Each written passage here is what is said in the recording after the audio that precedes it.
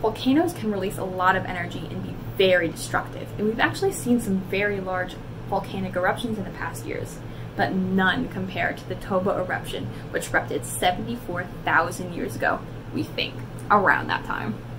The Toba volcano eruption is considered to be the largest volcanic eruption in all of human history. This was very early on in human history. We had just started showing up in the fossil record. When this volcano erupted, it released 670 cubic miles of ash and lava. The ash covered the earth and the sky, which caused an earthquake that caused humans to almost go extinct. Using ice cores, we were able to estimate that the world got up to about 9 degrees colder for years, and may have even gotten to about 18 degrees colder in the northern hemisphere for a year.